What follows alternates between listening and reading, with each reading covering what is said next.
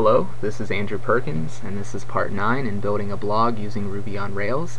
In this video, we'll learn how to validate our data before it's saved into the database. Uh, we'll also learn how to display those validation error messages. Currently, our app does zero, app, uh, zero validation, so we can submit a post here with an empty title and empty content, and our application doesn't complain. Down here, you can see our empty post. Uh, we do not want this. It says your post was saved, so we want to make sure we validate this data before so that this doesn't happen. Uh, we'll delete this post real quick. And let's switch to our text editor. And you stick your validation inside of your model. So under app models we'll open up our post model. And in here we can use a method called validates to validate the fields in our posts table. What we pass to the validates method are one or multiple fields that we want to validate. So we can validate any number of fields in the posts table at one time. And then we also just specify the validation rule that we want to apply to those fields. So we can say validates title and content. And we're going to ensure that the title and content are present before being saved to the database. That way they can't leave those fields empty. So we'll use the present validator and set that to true.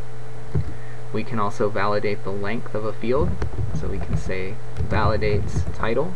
This time we're just validating one field, not multiple. And we can use the length validation, and we can actually tell it to validate by a minimum length, so we can ensure that the title is at least two characters in length. And we'll do one more. We'll validate that a title is unique, this will ensure that we don't have duplicate blog posts with the same title. So we can validate the title and we will use the uniqueness validation and set that to true.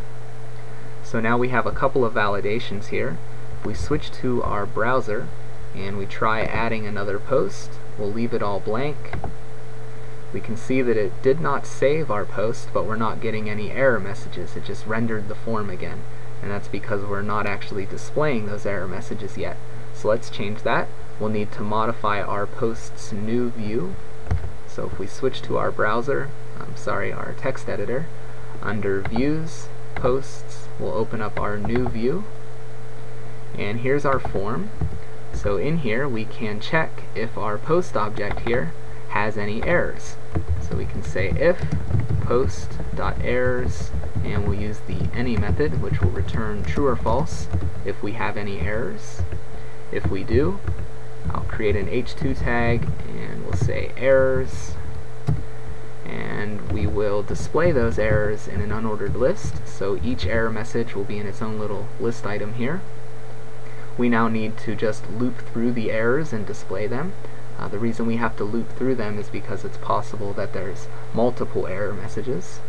So we can do that by going to post, errors, and then we can loop through the full messages. And we can get each message by using this local variable here inside of our block. So now we have each individual error message uh, using this local message variable. And we can just output the message inside of a list item tag We go. So we're checking if we have any errors on the post object. If we do, we're going to loop through them and display the error message. So let's try it out. We'll switch back to our browser and we can refresh. And there we go. We can see it's saying errors, title can't be blank, title is too short, and the content can't be blank. So let's test this out a little further. Let's just stick one character in the title and some content and add a post. And you can see it says it's too short minimum is two characters. So let's change this. We'll say fourth post and add a post. And it worked. So let's now test out the uniqueness validation and ensure that we can't create a duplicate blog post. So we have a post called fourth post. Let's try and duplicate it. And we will hit add a post click it. There we go. And you can see it says the title has already been taken. And we need some content for it too. There we go. So the uniqueness validation is working as well. something else we can do is we can customize this error message. So let's change it. We switch back to our text editor, in our post model, here's the validation for the uniqueness one. Uh, to change the error message, it's really simple. You just need to modify the value that you pass in for your uniqueness validation here and pass in another hash and you can set its message to be whatever you want. So we can just say already taken for short. And notice that I didn't have to specify true. Uh, it's just implied that I'm wanting to use the uniqueness validation and I'm changing its error message. So we can switch back to our browser and if we refresh we'll see this is the old error message and here's our new one. It says title already taken. Uh, so we now need to just make sure we're displaying error messages on our edit view as well.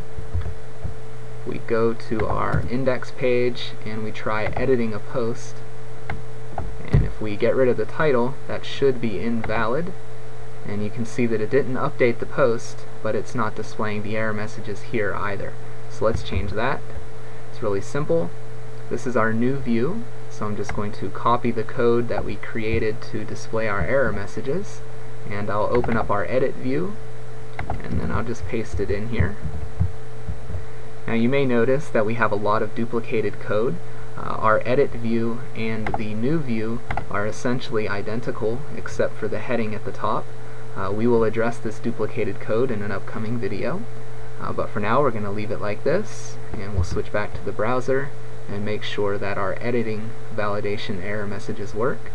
So if we try it again, there we go, we now have our errors for the uh, editing page as well. So let's change this back to our first post and update it, and it works. So I hope you found this helpful, and thank you for watching.